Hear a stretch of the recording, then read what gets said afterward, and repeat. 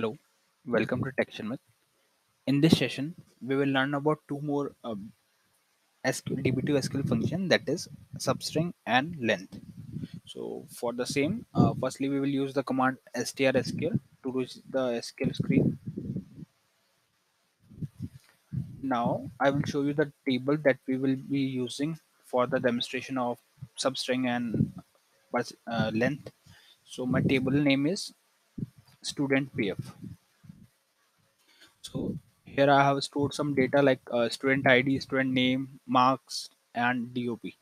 Okay, so mainly we will be using this uh, field for the to understand the concept of uh, substring and length. So first of all, we will see the substring. So if you have this uh, string and if you want to fetch particular uh, characters from this string let's say i want the, these three characters or i just want uh, the initial two character from this string. So what i will do i will use substring function. So let's see how we can use it. So just write select. Function is substr then we have to pass this field name. So my field name is stu name. Okay? Then we have to put the position from where we want to fetch the record. So i want to fetch the record from first position.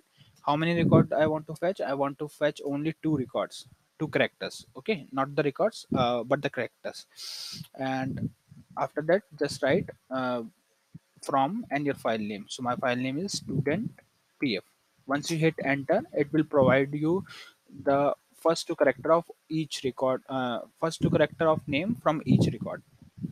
So this is what we are expecting from uh, for our output. So now if you want uh, some middle data let's say we will see the data again. So if you want data from third character or third character so third character and three uh, from third character to uh, three length of data so what we will do we will modify our function so here I will write start from third position and fetch three characters. Now hit enter. So it will provide the expected output. Okay. So that's how we can make use of a substring function in DB2SQL. Now we will see about the uh, length function. So if I wanted to find out the length of this field or these data, so what I will do, I will directly write select then my function that is length and in parenthesis I will put my field name that is stu name and from my file name my file name is student pf once I hit enter it will return the length of uh, the field that is 25 so this is correct so if you need any uh, like if any scenario if you want to find out the length of the particular field then in that case you can make use of this uh, function that is length so mainly we have discussed two functions. First is substring uh, in which we can pass three argument. One is from which uh, field you want to uh, substring the data.